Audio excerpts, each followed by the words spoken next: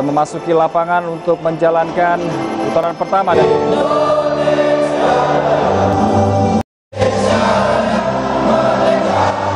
Indahnya bagi Indonesia ketika menghadapi Brunei Darussalam kita harapkan masih tetap konsisten hingga pertemuan ke-12-nya kali ini.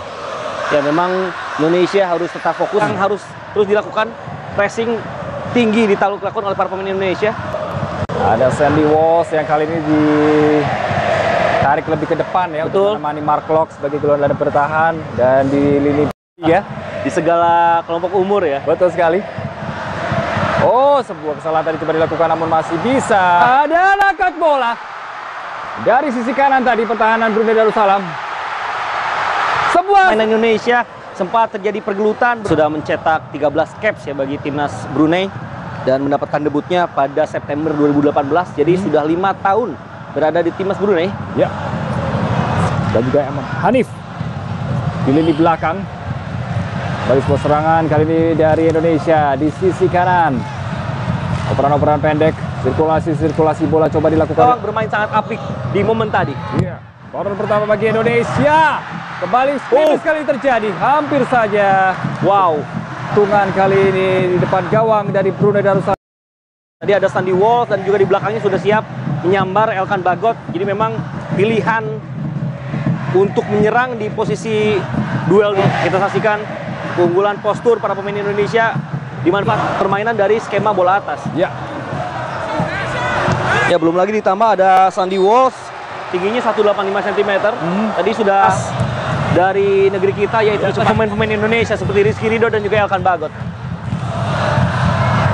Balik Sunny Walsh dengan Mark Locke yang kali ini diduetkan di lini tengah. Sisi positif coba dilakukan oleh Brunei Darussalam dari sisi kanan pertahanan Indonesia.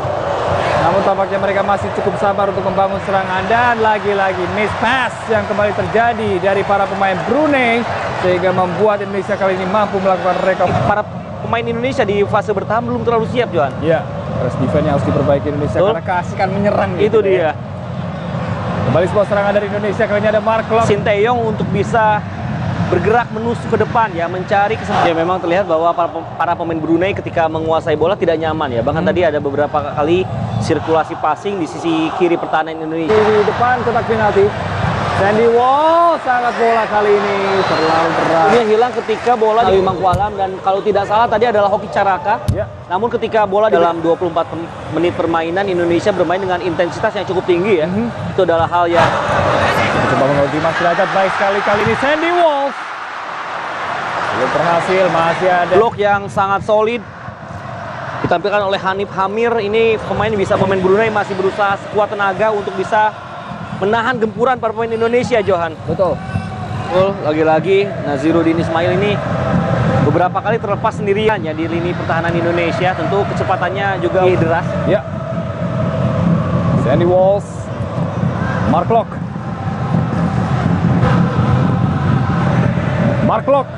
Kembali sebuah serangan coba dipenuhi oleh para pemain oleh para pemain Indonesia dari sisi ke sisi maupun di lini tengah dan mereka bermain sangat dominan kali ini untuk Ya. menguasai jalannya pertandingan. betul tapi sudah mendapat pada 22 Maret 2022 jadi memang melakukan kompetisinya ya bagaimana kompetisi ini tidak terlalu berjalan apik bahkan beberapa klub bermain di coba dilakukan. Sandy Walsh.